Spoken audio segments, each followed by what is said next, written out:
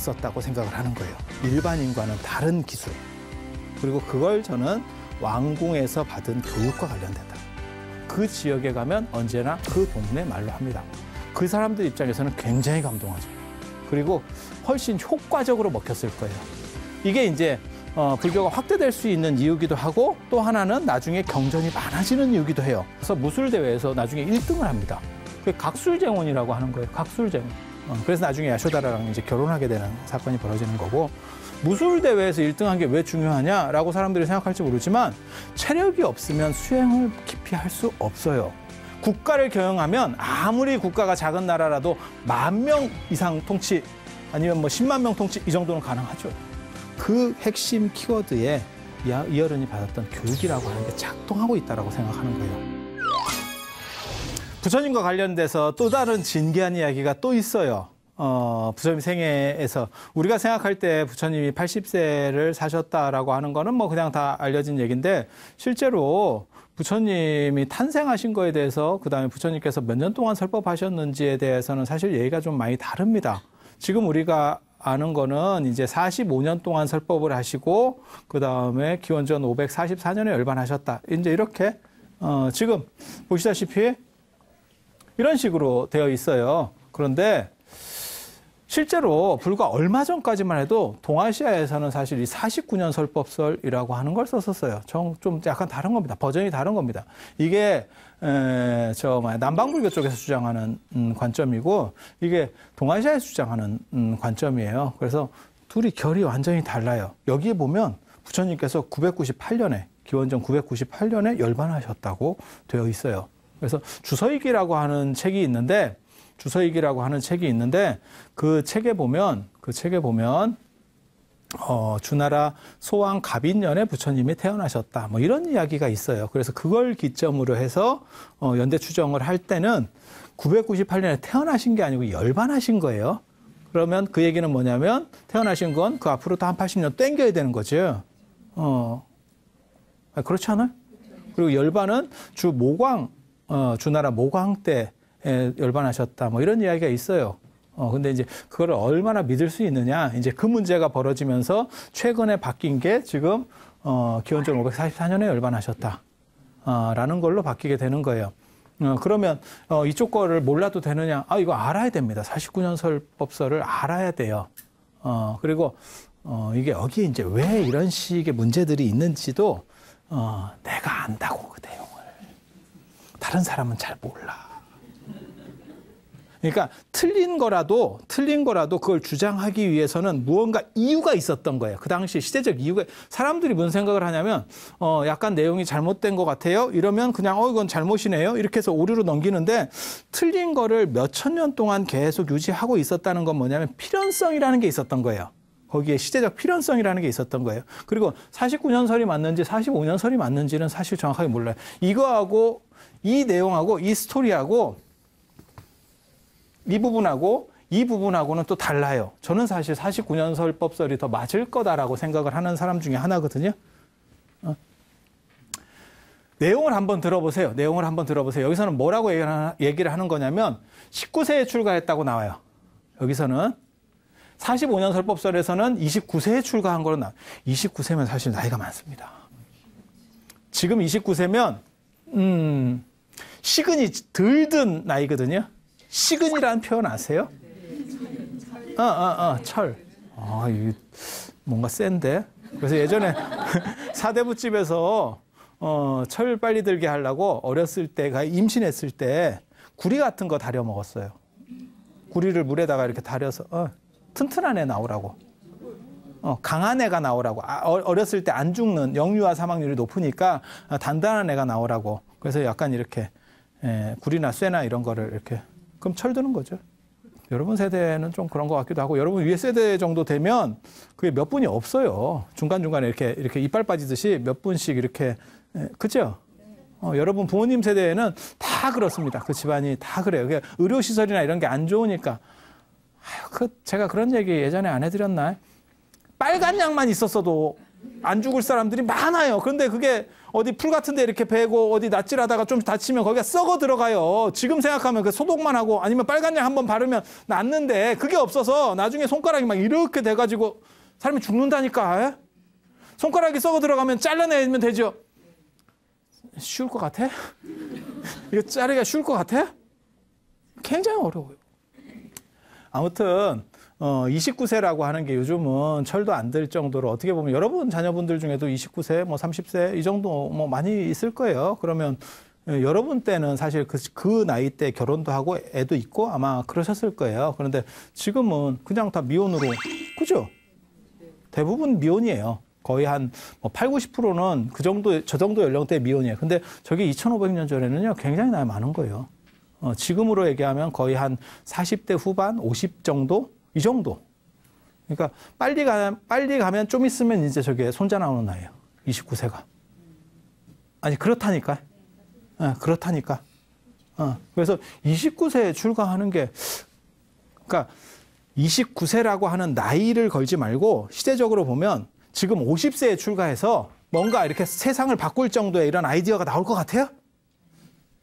잘 안. 그래서 저는 29세에 출가해서는 사실 답이 안 나온다고 생각해요. 그리고 나중에 어, 라우라라고 하는 부처님 아들이 아들이 태어나는 것도 29세면요 벌써 아들이 나와 있었어야 돼요.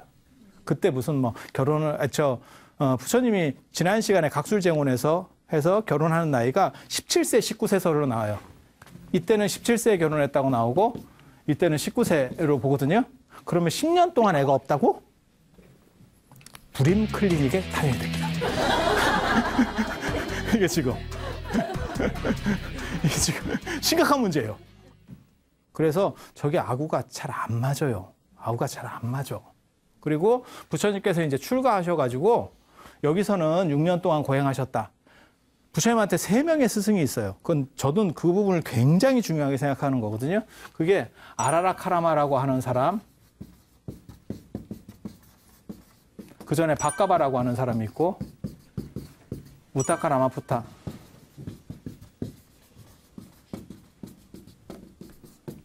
이렇게 세 명의 스승이 있는데, 이 스승들에게 여기서는 뭐라고 얘기하냐면, 씩 하니까 배웠대.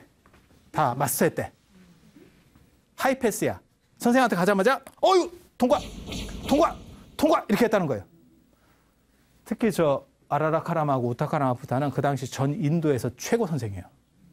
최고 선생, 최고 수행자라니까 그 사람을 그렇게 빨리 능가할 수 없습니다. 아, 그렇게 빨리 능가할 수 없습니다. 사실은 저는 부처님한테 저 이 부분을 부처님이 출가하고 나서 교육받았다는 게 굉장히 중요하다고 생각하는 사람이에요. 왜? 이게 부처님이 왕궁에서 조직 관리 같은 걸 배웠지만 출가 문화 속에서는 수행자 문화 속에서는 달라요. 근데 저 부분들을 저 선생들 밑에서 배우면서 조직도 알게 된 거예요. 그래서 나중에 수행자들을 이렇게 교화할 때 보면 굉장히 능수능란합니다. 그런 저 문화를 충분히 이해하고 있다는 거예요. 어, 충분히 이해하고 있다는 거예요. 그러니까 어, 무슨 얘기냐면 무슨 얘기냐면 내가 뭐 문과에서 공부를 잘했어. 그래도 이과 가면 이건 완전히 다른 판이야. 그러니까 문과에서 공부를 잘한 사람이 이과 가서 굉장히 공부를 잘 그거는 어려운 얘기예요. 그 중, 그러니까 머리가 굉장히 좋아도 그렇게 되기 위해서는 한참 시간이 있을 수밖에 없다고. 그게 상식적인 거 아니겠어요? 그래서 여기서는 뭐라고 얘기하는 거냐면 이 선생들한테 배운 기간이 6년이래요. 그리고 다 배우고 나서 이제 더 이상 배울 게 없으니까 당신 스스로 고행을 한 게 또 6년이래. 그래서 12년 동안 수행했다는 거예요. 굉장히 타당한 얘기예요. 그러니까 6년 정도는 되면, 그러니까 지금은 6년 교육 받는다는 게, 어, 별거 아니에요. 우리는, 왜냐면 우리는 초등학교부터 너무 교육 기간이 지금은, 어, 대학원까지 가는 시절이기 때문에 교육 기간이 굉장히 깁니다. 그죠? 그냥 꼬바만 봐도 엄청나게 길어요. 그런데 저 때는 일찍 사람들이 죽을 때니까, 평균 수명이 낮을 때니까 6년 정도면 충분히 배우는 기간이에요. 그렇게 생각하셔야 돼. 아, 그렇게 생각을 하셔야 돼. 그래서 이때는 이쪽에서는 이렇게 놓고 여기서는 그냥 씩 지나가는 거예요.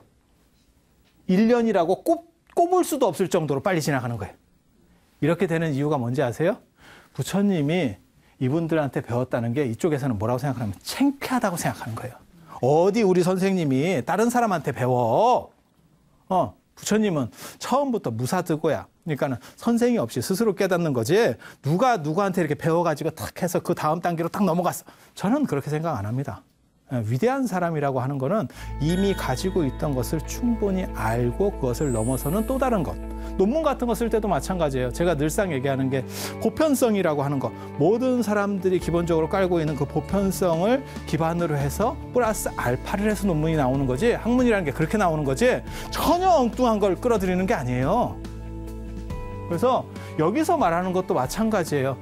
이쪽 전승에서는 부처님이 다른 사람한테 배운 게 창피하다고 생각하는 거예요.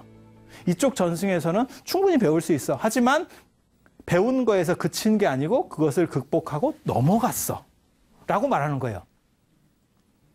왜 전승이 약간씩 다른지 아시겠죠? 그렇게 보는 거예요. 그리고 부처님께서 45, 이렇게 되면 49년을 설법하셔야 80세가 됩니다. 그래서 49년을 설법하시고 80에 돌아가셨다. 이렇게 얘기하는 거고 이렇게 계산을 내버리면 45년을 설법해야 80이 돼요. 이게 두 가지 전승이에요. 근데 이쪽 거는 요즘 사람들이 잘 모릅니다. 이쪽 거는. 하도 이쪽으로 바뀌어가지고 이쪽 걸잘 몰라요. 그런데 천태종의 현계다면이라고 하는 천태종의 보통 이제 5조라고도 불리고 이제 7조라고도 불리고 뭐 이렇게 되는 분인데 거기 보면 뭐라고 나오냐면 부처님께서 일대 교서를 설하셨는데 대장경 어, 지금 경전이 한 1,500종류 정도 되거든요. 그 경전을 설하신 거를 범주로 묶어요. 그리고 그거를 시간적으로 이렇게 나누는 얘기가 나옵니다. 거기 보면 뭐라고 나오냐면 아함경, 사암, 중암, 장암, 자밤, 그 다음에 증일암, 아가마라고 하는 거예요. 그걸 설하신 게 12년. 방등은 대승경전이라는 거예요. 대승경전을 설하신 게 8년. 그래서 아함 12, 방등 8 이렇게 하는 거예요. 21년 동안 이게 연이라고 하는 거예요. 그래서 21년 동안은 반야경을 설하시고 대반야경 600권짜리 반야부를 설하시고 어, 반야경을 설하시고 법화경하고 열반경은 부처님께서 맨 마지막에 설하셨어요. 그래서 법화경에 보면 부처님께서 맨 마지막에 설하시는 뭐 이렇게 내가 만년에 뭐 이런 대목들이 나옵니다. 그리고 열반경은 돌아가시기 직전에 3개월간 을 열반경의 그 배경이에요. 그래서 맨 마지막에 설하신 법화경과 열반경은 총 합쳐서 이게 이제 이건 만년에 설하신 거고 이거는 돌아가시기 직전에 설하신 거고 이런 것들을 합쳐서 합쳐서 8년. 그럼 봐봐. 12년, 8년, 21년, 8년. 다 더하면 49년이죠. 이 얘기를 하고 있는 거예요. 그리고 화엄경이라고 하는 경전은 최초 깨닫고 나서 처음에 3, 7일 21일 동안 설하셨다. 이렇게 얘기하는 거예요. 그러니까 21일은 연수로 계산할 수는 없죠. 21일은 그냥 21일이죠. 이렇게. 그래서 부처님의 모든 가르침을 이렇게 연, 이, 그러니까 뭐랄까, 연차로다가 이렇게 약간 구분하는 이 유명한 시입니다. 그냥 외우는 거예요. 어, 저 어렸을 때 저런 거 외웠어요. 어, 밥 먹고 별로 할 일도 없고 이럴 때 누워가지고 이렇게 뭔 얘기를 하고 싶은 거냐면 여기서 말하는 게 49년 설법설이에요. 그러니까 옛날 이게 지금 최근에 바뀐 거거든요. 1960년대인가 이때쯤 바뀌는 거예요. 그러니까 그 전에 있는 모든 문서는 여기를 기준으로 해서 작성이 돼 있어요. 그러니까 경전의 주석서라든지 중국이라든지 한국 스님들의 주석서를 볼 때 언제나 기준이 되는 게 사실은 이설이에요. 이설이에요. 그래서 이설을 모르면 그 주석서나 이런 거를 볼 때 삐끄러집니다. 그래서 옳으냐 그르냐가 문제가 아니고 사실 이게 옳은지도 저는 잘 모르겠어요. 저는 이게 더 타당하다고 생각을 하는 사람이기 때문에 이게 이 부분도 합리적이고 이 부분도 합리적이에요. 결혼해가지고 이때쯤 되면요. 결혼해서 10년 뒤에 출가한다는 건요. 지금도 여러분도 그런 생각 안 드세요?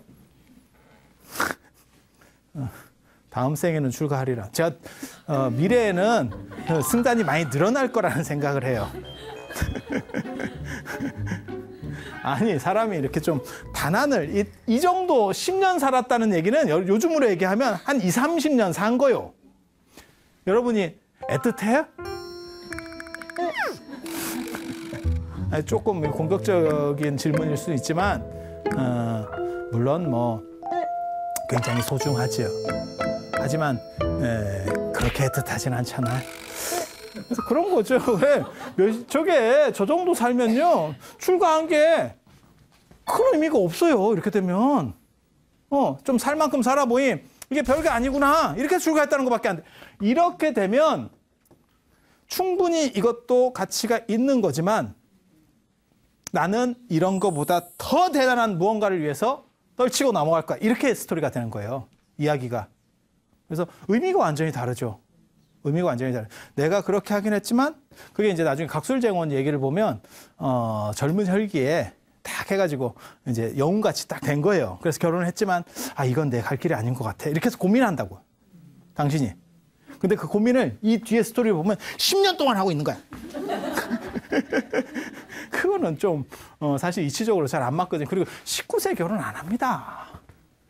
17세 정도가 아마 맞을 거예요. 왕가의 결혼은 어차피 정략 결혼이기 때문에. 그리고 이것도 훨씬 타당해요. 분명히가 훨씬 타당합니다. 그래서 이렇게 해서 80세에 맞추는 구조라고 하는 게 있는데 왜 이설을 다 버리는지를 잘 모르겠어요. 그리고 이설을 버리면 지금 주석서들 이해하지 못해요. 옛날에 써진. 옛날은 다 이걸 기반으로 썼기 때문에. 그리고 또 이게 있어요. 이거는 거짓말입니다. 이건 뭐 100%입니다. 이거 안 맞습니다. 왜냐하면 부처님이 그러면 어, 지금부터 3천 년 전뿐이라고 하는 건데 그건 안 맞아요. 연대적으로 안 맞거든요. 전혀 안 맞거든요.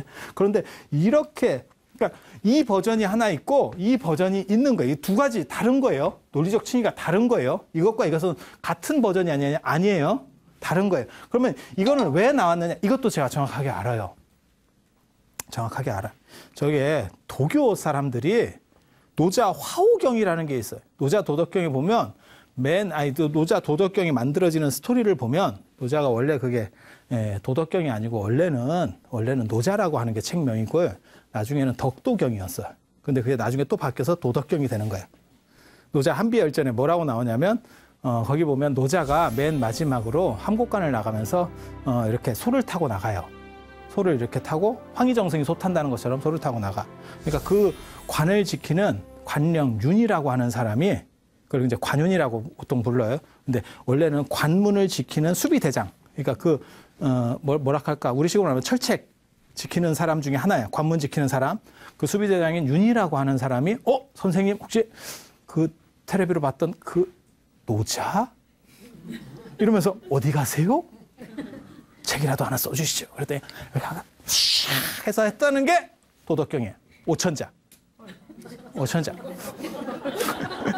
어느 정도 분량이라고 생각하시면 되냐면 금강경 정도 분량이라고 생각하시면 금강경이 한, 한 5천 한 그게 몇백 자 되거든요. 그 정도 분량이라고 생각하시면 돼요. 탁 써줬다는 거예요. 예, 탁 해서. 근데 그게 서쪽으로 나갔다고, 노자가. 그 관문 중에서 서쪽 관문으로 나갔다고. 그래서, 어, 뭐라고 도교 사람들이 구라를 쳤냐면 노자가 인도로 갔대. 인도로 가서 변신을 해서 부처님이 됐대. 이게 무슨 견적이 나오는 말을 해야지 이렇게 할 수 있는데 그게 노자 화호경 나중에 경전으로 만들어진 노자 화호경이 노자가 오랑캐를 교화한 경전. 오랑캐 여기서 인도예요. 근데 노자 연대를만 보면 노자 연대만 보면 노자 약간 신화적 인물이기 때문에 지금 오사사 정도로 하면 부처님이 꼭 빠르다고 할 수가 없어요. 그러니까 가서 그쪽으로 됐대. 이렇게 자꾸 걔네가 씹는 거예요. 그러니까 불교 쪽에서도 그에 반대를 해가지고 비슷한 설을 주장을 해요. 그게 뭐냐면 어, 가섭보살이 있는데 가섭 저 마하가섭이 아니고 가섭보살이 있는데 그 사람이 노자가 됐고 나중에 중국으로 파견 나와가지고 파견 근무 나와서 원래 대기업 직원인데 파견을 나와가지고 가섭보살이 노자가 됐고 유동보살이 있는데 유동보살이 공자가 됐대. 이렇게 했는데도 걔네가 원조 구라맨들이 훨씬 더잘 쳐. 그러니까 이게 도저히 이건 도대체 어떻게 이걸 벗어날 수가 없는 거야. 자꾸 얘기를 하니까. 그래서 안, 안 되겠다. 그래서 연대를 끌어올려. 이게 농담 같은데 이게 나중에 황제 앞에서 논변까지 붙어요. 계속 서로 막 유언비어를 퍼뜨리는 거야. 그래서 나중에 노자 화호경이 금서로 묶입니다. 거기서 스님들이 이겨요. 어, 이겨요. 그런데 민간에 퍼져 있는 거는 쉽게 사그라들지 않아요. 사그라들지 않아. 그러니까 지금 생각하면 너무너무 유치한 얘기야. 이, 게 무슨 쓸데없는 얘기들이래 라고 하는 거지만 옛날이라고 생각해야 돼. 지금 이게 고대 얘기를 하는 거예요. 거기서 유언비어 버티는 거야. 그래서 진짜 유치한 것들이 예전에는 먹힌다니까. 지금 생각하면 너무 저런 게 먹혀요. 그래서 그거를 방어 기제로 만들어내는 게 그거를 아예 차단시키려고 이설을 쓰는 거예요. 이거 아마 불교 쪽에 주장했을 거예요. 연대를 끌어올려. 그리고 중국에서는 상고 시대 때 이게 퇴행적 역사관이라고 하는 게 있어요. 혹시 들어보셨어요? 역사는 뒤로 갈수록 발전하나요? 우리 문명은 어때? 뒤로 갈수록 발전하나? 퇴보하나? 과학으로 인해서 편리한 건 맞죠? 편리한 건 맞죠? 더 행복해지나? 어때요? 그건 또 주관의 문제예요. 그죠? 편리해지는 건 100% 동의하시죠? 그런데 지금은 이렇게 과학을 통해서 발전한다고 하지만 실제로 실제로 통일신라부터 조선까지를 끊어서 보면 조선이 통일신라보다 못 살아요. 경제력이 떨어진다니까. 네. 그래서 청나라 사람들이 우리나라에 와서 얘기할 때 예, 저거들은 못 사는 이유가 있어라고 얘기하는 게 뭐냐면 수레 같은 거를 안 써요. 조선은 조선 후기까지도 수레라는 게 잘 작동을 안 합니다. 왜냐하면 길 자체가 좁아요. 그리고 우리는 산길이고 그걸 도로망을 뚫어줘야 되는데 우리가 지금 경제 이렇게 성장을 할 수 있었던 그 요인 중에 획을 긋는 사건이 경부고속도로 어, 맞잖아요, 그죠? 어, 그게 이제 어떻게 보면 우리 경제의 동맥이라고 할 수 있는 거죠. 에. 중국으로 말하면 대운하 건설 하나 한 거죠, 우리가. 그리고 그걸 기반으로 해서 이렇게 여러 이제 간선들이 만들어지면서 지금 이제 이렇게 쫙 올라온 거거든요. 단기간에. 그건 굉장히 대단한 일이라는 생각을 해요. 그런데 조선이라고 하는 나라에는 그런 길이 없었어요. 그게 왜 그러냐면 상업이 발전하면 어떤 어, 새로운 권력층이 생기는 거죠. 돈을 통해서 어떤 야, 기존에 있었던 양반들 이렇게 어, 특권층들을 맞먹으려고 하는 세력 집단이 생기는 거예요. 그러니까 이 양반들이 아주 못된 놈들이라니까. 그러니까 그것을 싹을 차단시켜 버리는 거예요. 그래서 도로망 같은 걸 불편하게 만들어놔. 그러면 그냥 어, 불편하니까 성장할 수 있는 세력이 없어. 돈이 어느 정도 모여야 사실, 사실 이게 뭐 어, 이렇게 대거리를 하고 맘먹고 뭐 이러는데 대거리를 할 수가 없는 거예요. 그 기성 권력층들에게. 이해가 되죠? 그래서 통일신라가 제가 늘상 얘기하는 게 있어요. 통일신라가 고려보다 잘 살았고 고려가 조선보다 잘 살았어요. 그래서 우리는 한 천 년 정도 역으로 퇴행을 했거든요. 근데 중국 사람들은 뭐라고 생각하는 거냐면 퇴행적 역사관이 뭐냐면 진짜 행복하고 이상 사회는 과거에 있었어. 그게 요순 시대라고 하는 거예요. 요순 시대. 그 태평성대가 있었고 그 뒤부터 이렇게 막 전쟁이 일어나고 힘들어진 거야라고 얘기를 해요. 이런 걸 보고 이상 세계는 어, 상고 시대, 그러니까 요순 시대라고 하는 아주 오래된 옛날 상고 시대에 있었고 퇴행한다 그래서 퇴행적 역사관이라고 합니다. 그러니까 점점 좀 안 좋아지는 거야. 그리고 그런 거는 전 세계적으로도 일부가 있어요. 그래서 뭐 황금의 시대, 은혜 시대, 그 다음에 동해 시대, 철의 시대, 뭐 이런 식으로 이런 식으로 이제 퇴행적 역사관이. 그래서 상고 시대에 나온 것만 최고라고 하는 게 중국에 있어요. 그 상고 시대에 불교가 존재하기 위해서는 연대를 끌어올려야 돼요. 지금 우리가 생각하는 것처럼 2500년, 2600년 전 그러면 어, 무슨 일이 벌어지냐면 춘추 전국 시대요. 정확하게 말하면 춘추 시대입니다. 춘추 시대는 한참 전쟁하던 시절이에요. 그런 전쟁하던 시절에는 좋은 게 안 나온다고 생각하는 거예요. 중국 사람들은. 그래서 이상적인 시대에 이상적인 게 나와라는 관점이 중국에 있었어. 그리고 조선은 시대에 우리나라에도 사실 그런 얘기들이 있었어요. 그래서 어 그런 불교 비판을 넘어서기 위해서 만드는 게 저 연대를 끌어올리는 거예요. 그래서 두 가지 때문에 사실 연대를 끌어올리는 거예요. 하나는 노자가 붓다가 됐다. 인도 가서 붓다. 지금 생각하면 너무 유치한 얘기. 그거를 차단시키기 위해서 공, 붓다의 연대를 확 끌어올리니까 이게 이렇게 될 수는 없잖아. 어, 이렇게 될 수는 없잖아. 라고 얘기를 한 가지 하는 거고 또 한 가지는 뭐냐면 상고시대에 이상적인 게 나오고 그 뒤에는 다 거지 같은 게 나와 라고 생각하는 중국의 퇴행적 역사관 때문에 이상시대에 불교는 나온 거야. 그렇기 때문에 불교야말로 유교보다 더 대단해 라고 말하고 싶었던 거예요. 어, 그래서 틀려도 틀렸다가 아니고 왜 저 사람들은 저런 식으로 할 수밖에 없었는가 그 스토리를 알아내는 게 중요해요. 그게 공부하는 사람의 자세입니다. 어. 왜? 그냥 틀린 거는 그렇게 오래 못 가고 사라져요. 그런데 그게 계속 유지가 되고 있다는 거는 거기에 필연성이 작동하고 있다는 거고 그 필연성을 이해하는 게 사실 학문이에요. 그래서 이런 정도 이건 기본으로 좀 알아두시고 그리고 부처님이 이제 출가하시게 되는데 뭐 거기 뭐 사문유관 뭐 이런 얘기 있지만 그런 것들은 다 그냥 부처님 생애랑 관련된 데서 다른 데서 들으시면 되고 저는 못 듣는 얘기만 해드릴 거예요. 어 인도는 동쪽 숭배예요. 동쪽 숭배 방위적으로는 동쪽 숭배 그래서 동쪽으로 출가하세요. 그리고 부처님께서 깨달음을 얻으실 때도 우리는 남쪽에 대한 게 있고 그래서 남향이라고 하는 게 있고 그래서 예전에 저 봉은사에 왕실 위패가 있었는데 왕실 위패가 있었는데 그러니까 선왕들의 위패가 있었는데 예, 그게 나중에 어떤 문제 때문에 실록에 나오는 얘기예요. 조선왕조 실록에 나오는 얘기예요. 문제가 되냐면 선, 어, 선왕들의 위패는 위패는 어, 북쪽으로 향하게 놓고 그 다음에 부처님은 남쪽으로 향하게 놓고 얘네들이 제사를 지낸다. 그거는 굉장히 불경한 거다. 라고 비판을 합니다. 그게 왜 그러냐면 남쪽을 보는 쪽이 에, 쉽게 말해서 지위가 높은 거예요. 그래서 여러분도 마찬가지예요. 제사 지낼 때 보시면 위패는 남향이고 남쪽을 보고 절하는 분들은 다 북쪽을 봐요. 그래서 홍동 백서가 가능하다니까. 그러니까 동서로다가 열릴 수 있는 거예요. 남북으로 축이 맞춰져 있기 때문에. 그래서 제가 그런 얘기 하는데 이걸 잘 몰라가지고 방향을 다르게 놓으면 홍동백서를 하면 이렇게 난다니까 제사상이 이렇게 차려지는 게 아니고 이렇게 차려진다니까 어, 앞으로 그러면 과일 한번 먹으려면 어 이거 씨 이렇게 이렇게 해야 되는 거예요. 그래서 어, 남향이라고 하는 게 동아시아 전통에서 그게 주나라 때부터 어, 주나라 때부터 있었던 문화예요. 그래서 남양 음, 숭배라고 하는 거는 남쪽을 이렇게 에, 높게 놓는 거는 어, 우리가 일조량이 적어서 그런 거고 일조량 때문에 문제가 되는 거고 그 다음에 어, 임금도 남, 남향이에요. 남면이라고 하는 거고 신하는 북면. 그러니까 낮은 사람은 전부 남쪽이에요. 그래서 어, 여러분들이 어디 이렇게 에, 음식점에 가면 어른은 남쪽을 보고 앉는 거예요. 물론 그게 입구가 이제 어떻게 걸리느냐에 따라서 약간 바뀔 수도 있어.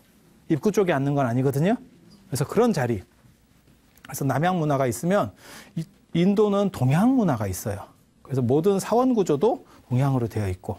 그래서 아까 그 위패 얘기 잠깐 마저 해드리면 임금의 위패를 북쪽으로 놓고 부처님을 남쪽으로 놓는 거는 임금을 임금의 선왕들을 이렇게 낮추는 거다. 이렇게 찝는 거예요. 그래서 어 그, 그게 가능해? 이런 이러면서 뭐라고 얘기했냐면 임금이 그거를 전부 그 위패를 묻어버려라. 이렇게 좋은 땅에다 묻어드려라. 이렇게 어, 그 사건 굉장히 큰 사건이에요. 그때 조금만 더 나갔으면 에, 봉은사가 사라지는 사건이에요. 왜? 그게 그 위패를 가지고 있다는 건 유생들이 함부로 못한다는 거예요. 방어막입니다. 어, 캡틴 아메리카의 방패 같은 거거든요. 원래 다 방패 같은 건데 그걸 뺏기면 유생들이 저걸 그냥 밀고 들어가서 뭐 어, 작사를 내도 이제 아무것도 할 수가 없어요. 선왕의 위패가 있으면 선왕의 위패가 있는 곳에서 이러는 거 아닙니다. 이러면 끝나. 무슨 얘기인지 아세요? 지금은 위패라는 게 그렇게 큰 의미가 없지만 예전에는 신주단지 모시듯 한다라고 하는 거잖아요. 그건 굉장히 중요한 거예요. 굉장히 중요한 거예요. 그래서 어, 인도는 동양 문화이기 때문에 부처님은 동쪽으로 출가하시는 거고 깨달음을 얻으실 때도 동쪽을 보고 깨달음을 얻으시는 거예요. 그래서 다 이게 예, 사원 구조도 동쪽으로 돼 있어요. 어, 사원 구조도 전부 동쪽이 정문이에요. 그래서 이렇게 동쪽으로 되는 거고 그 다음에 출가하시는 이유도 인도에는 인도 문화권 전체가 그래요. 저 더운 지역의 특징이 어, 귀족들이 출가를 많이 해요. 어, 귀족들이 출가를 많이 해요. 그래서 철학의 주체가 귀족이냐 평민이냐라고 하는 거는 어, 굉장히 중요한 거거든요.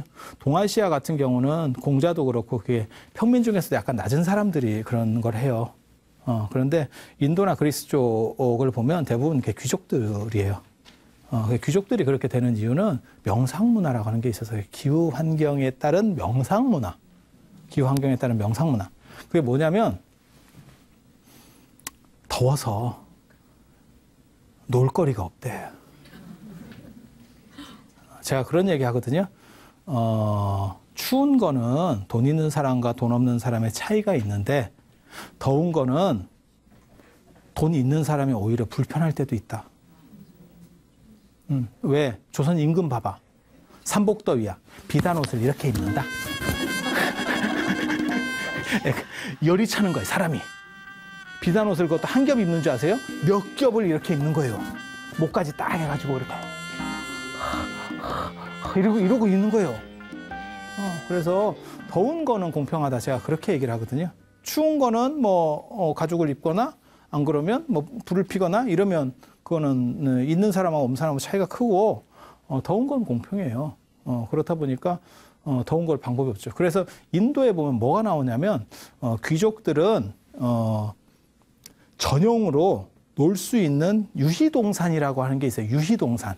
그게 뭐냐면 물이 흐르는 물이 흐르는 어떤 뭐라 할까 휴식 낮에 이렇게 휴식하고 계, 계곡물 계곡물은 없고 인도 같은 경우는 계곡물은 없고 그냥 평지물인데도 물이 흐르면 아무래도 온도가 좀 떨어지잖아요. 그래서 인도 귀족 얘기 딱 보면 진짜 돈 있는 사람은 이 유희동산이 있어. 유희동산이 쉬는 거예요. 약간 시원한 데서 쉬는 거예요. 더우니까 너무 더우니까 인도는 어 40도 55도까지 올라가요 여름에. 그러니까 물이 흐르고 숲이 있고 이런 데를 아예 딱 도시에다가 지정해 놓은 게 멀리 가면 말 타고 가면 덥잖아. 그건 또 힘들잖아. 그러니까 요 도시 안에다가 요즘으로 말하면 그런 거죠. 저 압구정동에 에, 어떤 에, 시원한 동산 같은 걸 하나 만들어 놓는 거야. 아, 거기 한 만 평 정도 밀어가지고. 어, 그래서 거기서 이제 낮잠 좀 자고, 어, 이렇게 이제 마사지나 받고 있고. 이, 이해가 되시죠? 물에 들어갔다 나왔다 좀 하고, 이렇게. 그래서 보초 딱 세워놓고 그 안에는 못 들어오게 하고. 어, 그게 최고로 럭셔리 한 사람들. 그리고 그 다음에 돈 있는 사람들이 대부분 누각을 짓는다 이렇게 나와요. 높은 누각.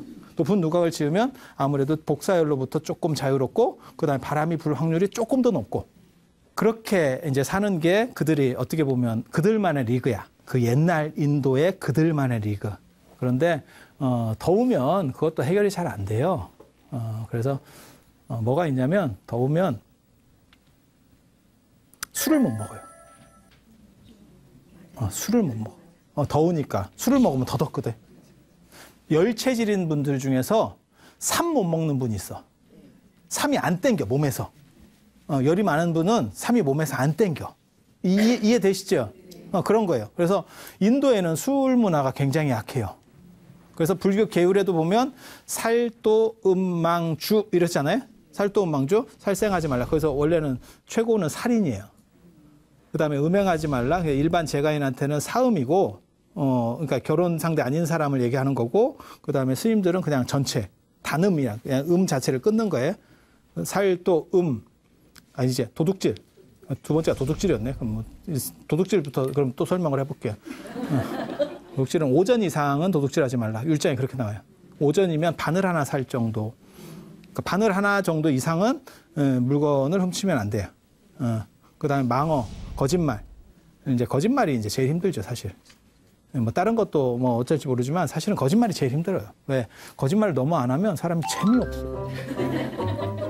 MSG를 막 탄닥하잖아요. 요즘 요즘 말로 치면 이렇게 조금 이렇게 아, 얘기할 때 그렇게 있어야 뭐 이렇게 싹 귀에 들어오지. 너무 사실만 얘기하면 세상이 무미 건조하잖아. 그죠? 어, 말이라는 게 그렇거든. 그래서 이 거짓말 중에서 이제 스님들이 하지 말라고 하는 게 뭐냐면 대망어죄. 큰 거짓말. 그거는 뭐냐면 깨닫지 못했으면서 깨달았다고 하는 말. 어, 그거는 어, 사람들에게 혼란을 주고 다른 스님들에게도 피해를 주는 거죠. 어, 그래서 그렇게 되는 거고 이 이거를 성계라 그래요. 성계. 이거는 그러니까 본질적인 계율. 그래서 요것들은 하나라도 문제가 생기면 제적됩니다. 열빈이라고 그래서 제적이에요. 쉽게 말해서. 그런데 살도 음망주 이 술은 차계라고 그래서 그렇게 하지 마세요라고 하는 경고죄예요. 경고 경고. 그래서 이거는 술을 먹었어도 술을 먹었어도 아유 제가 술 먹었네요 죄송해요 이렇게 하면 그냥 용서가 돼요. 어 이유가 뭐냐면 인도 사람들은 술을 잘 안 먹기 때문에 그래요. 동아시아 사람과 달리 인도 사람은 술을 잘 안 먹어요. 그래서 율장에 보면 아침에 짜놓은 주스를 오후에 마시고 사람이 개로 변신하는 경우가 있어요. 어, 술인지도 모르고, 그러니까, 야, 주스를 짜놨더니 약간 발효가 된 거예요. 근데 그거 먹고도 개가 돼요. 우리는 소주를 서너 병을 먹어야 이게 변신을 하는데 그 사람들은 그거 하나 먹고도 왜? 아, 계속 대대로 안 먹는 그게 있으니까 조금만 먹어도 사람이 정신을 잃어버리는 거예요. 그래서 술 계율이라고 하는 게 약합니다. 그러니까 문화 배경이 완전히 다른 거예요. 이 동네는 약간 춥기 때문에 중국의 독한 술, 빼가리나 이런 게 있는 거는 그게 난방용이에요. 난방 보조용입니다. 그래서 어, 나무나 이런 게 없으니까 이런 흙집 같은 데 들어가 살, 살면서 자기 전에 그렇게 딱 한 잔 하고 그걸로 그냥 추위 이기면서 자는 거예요. 그래서 독주가 이렇게 나오는 거라니까요. 그런데 인도 같은 경우는 그런 상황이 아니에요. 그래서 술 문화도 잘 안 되고 그래서 술을 먹기 힘들다는 게 있어요. 그래서 술 잘 안 되고 그다음에 또 뭐가 있냐면 저것도 안 돼. 어. 놀이, 사냥. 사냥 뛰다 지가 죽어요. 잡기 전에 지가 죽어. 40도에서 사냥을 누가 하겠어.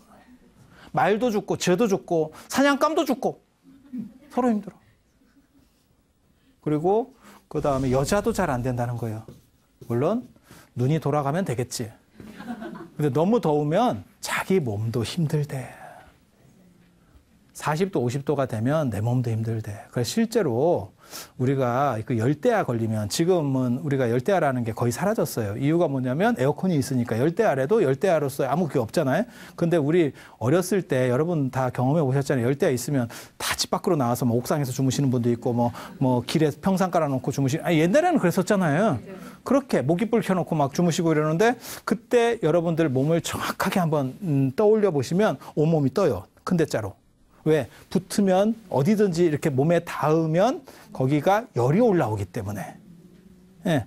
그래서, 어, 인도 수인은 실제로 인도의 부처님 상을 보면 전부 이렇게 다 떠 있어요. 이런 데가 다 떠 있어요. 어, 그리고 동아시아로 오면 이렇게 딱 붙어 있어요.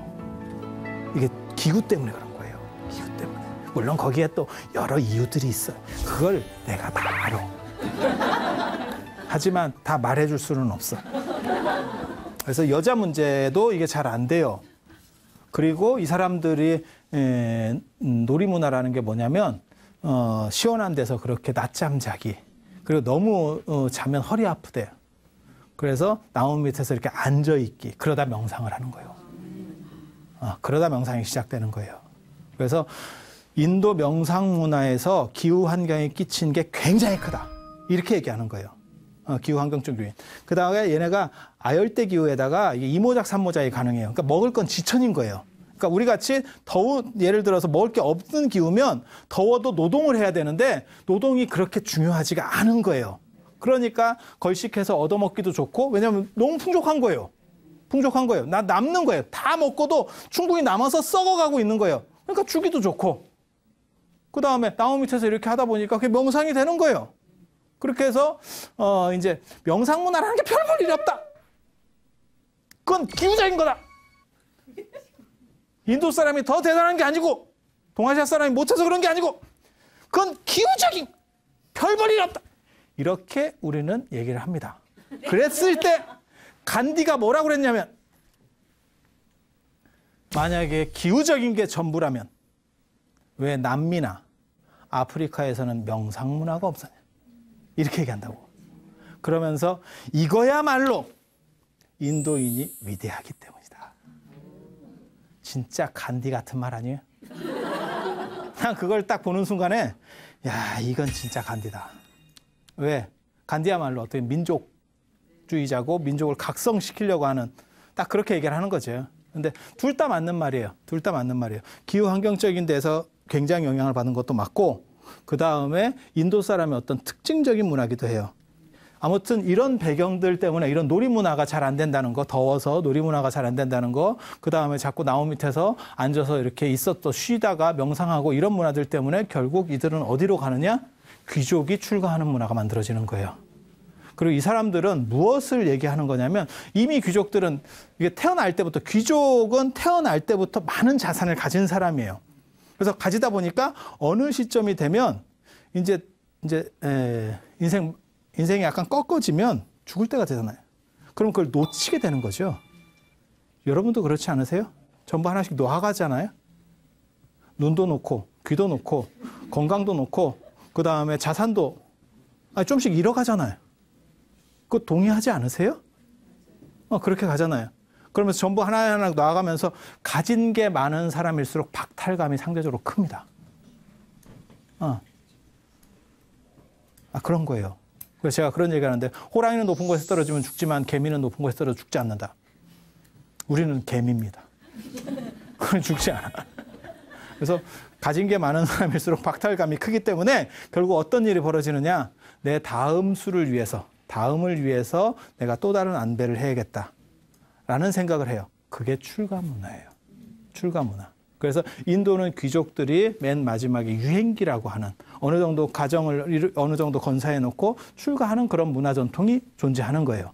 그래서 나를 위해 수행하자. 그러니까 요즘으로 말하면 뭐냐면 어, 지금도 저는 비슷한 상황이라고 봐요. 오래 사는 시절에 오래 사는 시절에 가족들 이제 자녀분들 다 여우고 뭐 걔네들도 다 재검 나서 어느 정도 이상 살아. 그러면 이제 노부부 둘만 있어. 그럼 뭐 하겠어요? 둘이서 맞고 치나? 특별히 할 것도 없잖아요. 그럼 뭐예요? 그나마 이게 직업을 위한 공부가 아니고 지금 같은 공부. 어, 자신의 삶의 만족, 행복을 위한 공부. 그래서 제가 늘상 얘기하는 거 있어요. 공부하고, 그 다음에 답사하고, 기도하고. 그렇게 가는 거예요. 그렇게 가는 거예요. 그게 어떻게 보면 유행기입니다. 자신을 위한 시간. 내가 내 가정을 위해서 열심히 나는 진짜 살아왔어. 여러분 세대들 아니면 여러분 바로 윗세대들 진짜 다 열심히 사신 분들이에요. 개인적으로 굉장히 제가 그분들에 대해서는 어, 그 세대 자체를 존경하는 그런 부분이 있어요. 그리고 그분들의 땀과 노력으로 인해서 우리가 불과 한두 세대 만에 이 정도를 이룬 거예요. 그분들이 다 희생한 거예요. 어, 그분들이 희생한 거예요. 그건 뭐 누구도 부정할 수 없는. 네, 유럽이 몇백 년에 걸쳐서 한 걸 우리는 한 두세 대 만에 다 해버렸어. 어, 엄청난 음, 고통을 에, 있었다니까.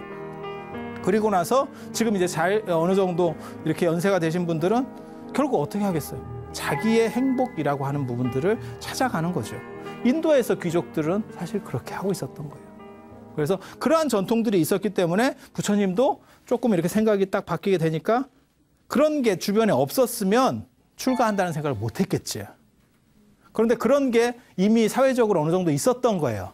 그러니까 어, 이것이 마음에 안 든다면 나는 이미 충분히 가진 사람인데 이거 이것이 견고하지 않다라고 생각을 하니까 이거 언젠가는 잃어갈 것 이러니 이렇게 생각을 하니까 그럼 더 확실한 것을 위해서 또 다른 선택을 해봐야겠다. 그게 출가예요. 그게 출가. 여러분도 사실 이 자리에 있는 게 이미 출가해 있는 거예요. 그런 걸 보고 심출가라고 하는 거예요. 어, 심출가. 그러니까 몸으로 이렇게 미는 출가 말고 마음이 출가해 있는 거예요. 왜? 인간, 모든 인간은 자유와 행복을 추구하는 그게 내재돼 있어요. 진짜 자유롭고 행복하고 싶은 생각 없으세요? 그게 있다면 여러분은 이미 출가한 겁니다. 여기까지예요. 여기까지, 여기까지.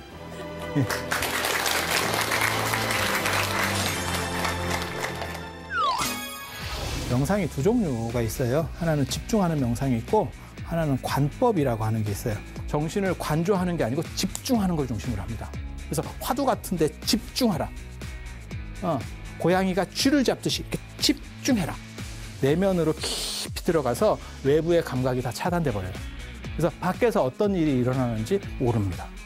그러니까 똑같은 선이라는 글자를 써도 인도 선하고 중국 선하고는 완전히 다릅니다. 네, 화장은 아리안족 거고 그 유목민 문화고 윤회는 인도의 어, 어, 원주민들 쪽에 가까울 거예요. 그 틀에 있으면서 승냥이나 까마귀가 이렇게 파먹는 거나 어, 땅 속으로 들어가가지고 개미나 땅강아지가 파먹는 거나 그게 그거 아니냐? 시체라고 하는 거는 마치 입다 낡은 옷과 같은 거예요. 그러면 여러분도 굉장히 처음에는 애지중지하고 옷을 입다가 나중에 의류 수거하면 그냥 버리잖아. 그걸 비윤리적이라고 말할 수 있어?